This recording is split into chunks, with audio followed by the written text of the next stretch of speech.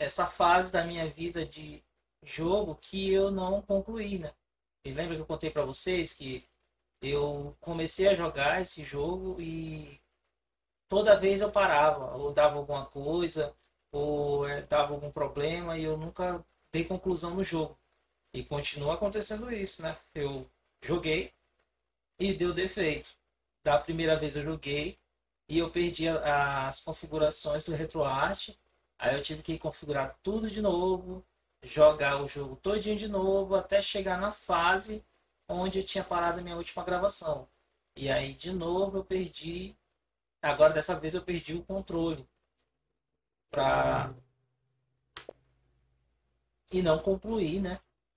O, o, jogo. E aí galera, tá gostando dos shots? Então se inscreve no canal e ativa o sininho para ficar por dentro das novidades, beleza? Falou!